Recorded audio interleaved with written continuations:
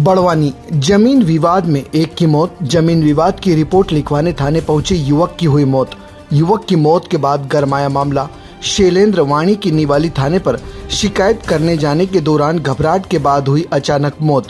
थाने पर परिजनों ने किया जमकर हंगामा। शव को थाने के सामने रख कर किया चक्का जाम। खेतिया सेंधवा स्टेट हाईवे पर लगाया चक्का जाम। निवाली पुलिस ने किया मामला दर्ज। विवाद करने वालों पर हत्या का मामला दर्ज करने पर अड़े परिजन। लगभग तीन घंटे लगा रहा। हाईवे पर चक्का जाम, निवाली थाना क्षेत्र की है घटना।